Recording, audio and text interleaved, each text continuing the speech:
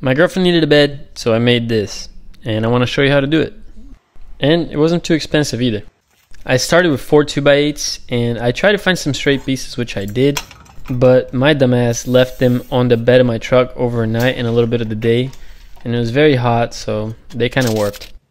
I don't normally build furniture, so there's a lot of learning that I still need to do in this world.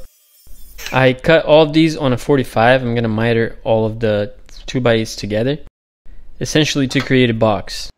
Now I measured this so that short to short I'd be like an inch bigger than the mattress. And that's because if you want to put a blanket on there, you know, it's you got some space. Now to add a little bit of detail, I'm gonna cut a slot into my 2x8s. I don't know, dado, I don't really know the names, I'm sorry. But yeah, basically I'm making two cuts with a table saw, the width of a strip of wood that I have. And then I'm gonna take out all of the material inside of it. And you'll see why here in a second.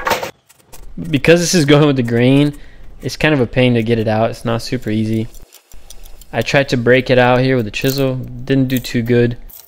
So I gave up that idea and switched to the router with a level clamp to the board. This did the trick and worked out pretty well. I can't say that I didn't make any mistakes. The router definitely came out of the line for a couple of them, but I was able to fill it in in the end and it turned out pretty good. You see that I created a slot here and that's going to be for some ipe that I'm going to be putting in to create a little bit of a detail, you know? I'm gonna blow out all the sawdust and then use some glue and brad nail it but my phone overheated so I couldn't record that part. The plan was to sand this down with the sander but I got impatient. This wood is very hard and it was gonna take forever so I got the planer instead. It was a little bit more aggressive and because I couldn't get it super straight I just decided to add some texture to it anyways trust the process you know make it look a little beat up it turned out a little rough, but I like it. Now I'm to use this chamfer bit here on the router so that I can break the edge on the top of the bed.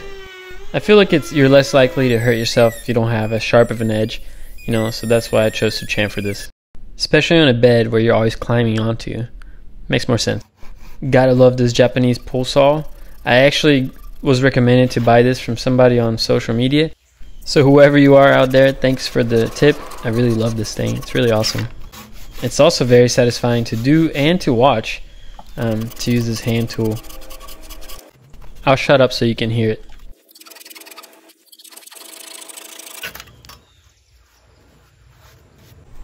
Now it's time to assemble this thing. Um, as you can see my shop is kind of bare. So we'll make do what we got. Zero craps given about, you know, cleanliness here. It's just a driveway, an old driveway that's already all marred anyways, who cares. Now to pull this together and hold it in place, I'm going to use some trim screws. And I'll screw them in at an angle because I don't like screwing it straight into the end grain. I feel like it's a weaker connection. So when I put screws in at an angle like this, I do feel like it's just a bit of a better grab. I'm going to repeat the process so that I create a box essentially, screw it all together. And now I'm going to measure for the middle pieces so that I can have something to put the mattress on. I went with some 2x4s for the middle supports. now this bed did turn out a little heavy, but I had to split it in two anyways because it's a king size mattress and there's no way I can get that whole thing inside of any room. I've tried before. I'm ripping a 2x4 in half to create some ledgers and that's basically going to serve as a place for the 2x4 supports to sit on. I'll add some glue to each ledger strip and then attach it like an eighth above the bottom of the bed. Now I'll go ahead and install the 2x4s I cut earlier. And basically I'll be adding two to each half. One at the end and one kind of split in the middle symmetrically so that I have three even spaces. I added about three or four screws to each 2x4 on each end. Doesn't need a lot because sitting on that ledger already as is, but you know, why not overkill I guess. The two halves are assembled so I'm to take them inside. It's getting late. And that's what you're to get. Now I've puttied all the holes from the screws and all the gaps and imperfections and now it's time to sand. My girlfriend is sanding here. The bed's for her, you know, so you gotta put her to work a little bit. I'm joking. She definitely wanted to help. She's sweet about that. Once the bed is all sanded, I'm gonna go ahead and add tape to the ipe that's in the middle.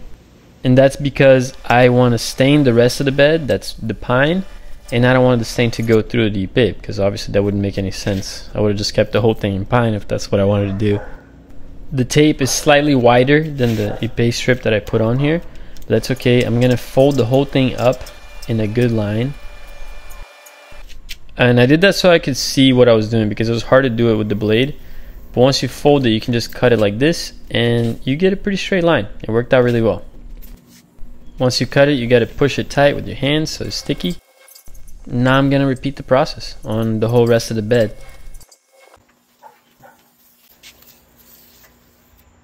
I also added a piece of ipe to the middle between the two halves for some extra flare, so we'll tape that as well. And of course we gotta do both sides. Can't leave the other one not taped. Once the tape is on there, I will go ahead and stain it. I'll do two coats of stain Especially with black like this, I never get everything in one go. I mean, I can try all as I might. Just better to do two. You get a more thorough finish. While I was staining one side, my girlfriend was doing the other, the other half. Look at her go. She's so fast. I need to hire her. And that's what you get. You know, looks pretty good. Now, you I got some imperfections here and you can get a razor and clean it up if you like if you ever do this. But if I'm being real, I did not do that. It didn't, except for like very obvious spots. Now, I highly recommend this next step, but you don't have to do this. I put two coats of um, epoxy or resin on the bed.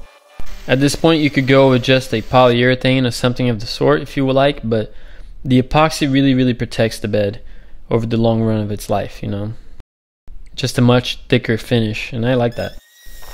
I don't remember if I put a coat of epoxy and then sanded and then did another one, or if I just did two coats, one on top of the other, and then sanded in the end. But either or works. I worked myself down all the way from a 120 to a 400 grit here on the sand. Now I did over sand in a couple spots, but since it was black, I just used a marker to touch it up. And then I did one final coat of polyurethane semi-gloss to the bed after the epoxy was sanded. That's just because I like that finish more than I like the epoxy finish. Now it's time to assemble this thing. As you can see, I did it in twos because there's no way I can fit that giant bed in this apartment. I would have been struggling. Not to mention how heavy this would have been, you know. Now, this joint looked like crap. Um, when I was chamfering that top edge, a giant flake came off of it. And the wood was bowed on both sides. These two 2x8s had quite the warp, and you can see I had to pull it in with some giant screws. Didn't turn out very good, this one joint. but I'm going to put it on the side that's near the wall. This other joint turned out a little bit better. Um, the wood wasn't as bowed and it didn't have that flake. That's it right there. And there it is. The bed is done. It's in place. And there's Move.